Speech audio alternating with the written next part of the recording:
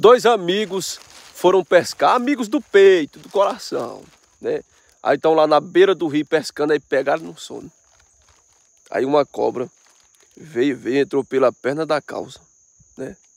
Aí foi, foi, foi subindo, mordeu na cabeça da trouxa, né?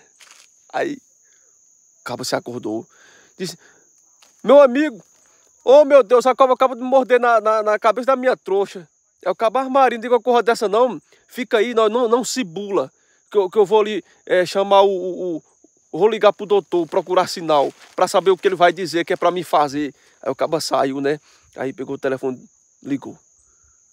Aí o, o, o médico atendeu, disse, doutor, rapaz, nós estamos aqui, rapaz, no meio de uma pescaria, nós estávamos cochilando, aí a cobra entrou pela a perna da calça do meu amigo, aí mordeu na cabeça da trouxa, o que é que eu faço, hein?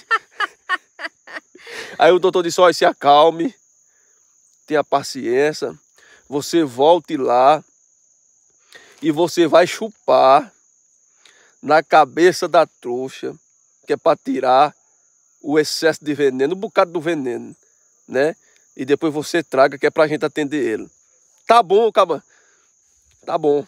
Aí desligou o telefone, né? Chegou lá e o outro já tava se esperneando, agoniado, né? Disse, aí, o que foi que o doutor disse? Me diga, pelo amor de Deus. Aí o cara disse, olha, o doutor disse que você vai morrer. ele, ele...